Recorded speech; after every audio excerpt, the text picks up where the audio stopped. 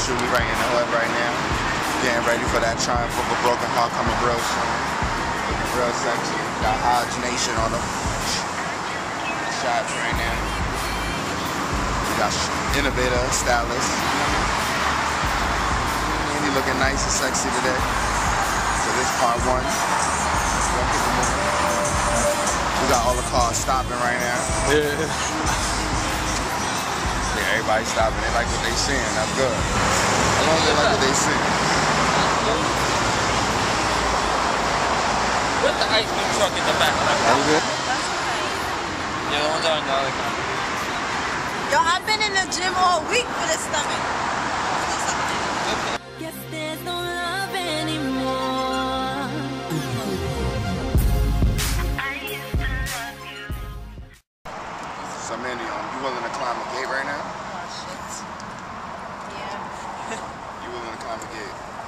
I'm gonna do shit today. Hell yeah. Whatever it takes right now. Now we seen uh we seen a um at the Sorry. we seen a black Mustang over there. It was like at the gate there. It was like in a like a it was like a little mechanic garage right there. And Hum Cujo. So what is it? A game or a car? Yeah. The car is behind the gate. It's a car, but you gotta have the gate.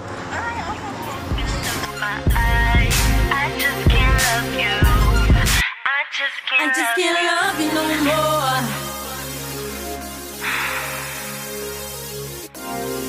This whole thing is just starting not to make sense.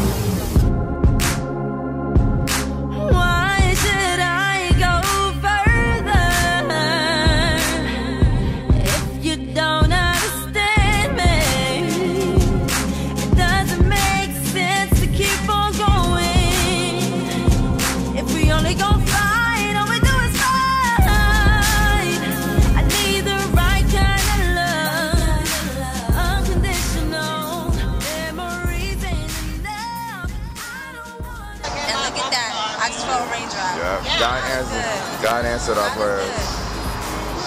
I'm going to church on Sunday because I can't just be praying when it comes to stuff like this. I gotta pray all the time. Tell everybody what this shoot was about. What was it for? Shoot, this was promo for. Well, we're just gonna see what we come up with and see what fits best, best for which, like whether it's promo for the single, for the mixtape, whatever. Like we already have a mixtape cover, but if this fits the better, then we'll for the mixtape promo for the single.